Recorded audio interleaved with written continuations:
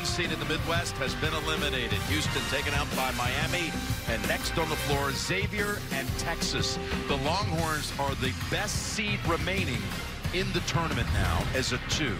Xavier the three. It's a great matchup. Two high-scoring teams that led their conferences in scoring about to meet to go to the regional final and take on the Hurricanes on Sunday. Hello, friends. Jim Nantz, Grant Hill, and Bill Raftery. And before we tip it, let's get some breaking news from Tracy.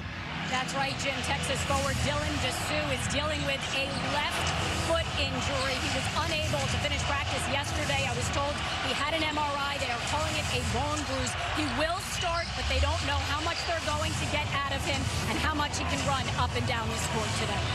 Tracy. Of course, he scored 28 in the game against Penn State last weekend to help get them here to the regional semifinals, and there are your first five. Boum has had quite a season at, at Xavier, and you look at the Longhorns, and the Longhorns iffy with Disu. What does that mean to the Texas team, guys? Well, if he's at 100%, Disu, that's big time trouble for Texas. They have great depth, but he's their inside presence and has played big for the Longhorns in this tournament. I'll probably see a lot more of Christian Bishop for one, who's great at screening and slipping, but it takes away that element of playing two bigs together, which they like to do. And Disu is when they need a hoop, he's the guy who was at the top of his game coming in here.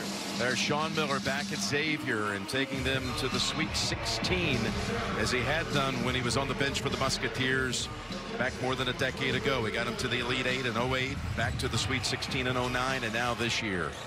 Ayers, Green, Chiazza, the officials. Xavier at 27 and 9, defeating Kennesaw State and Pittsburgh in the tournament to make it to the Sweet 16. Texas 28 and 8, defeating Colgate and Penn State in round two.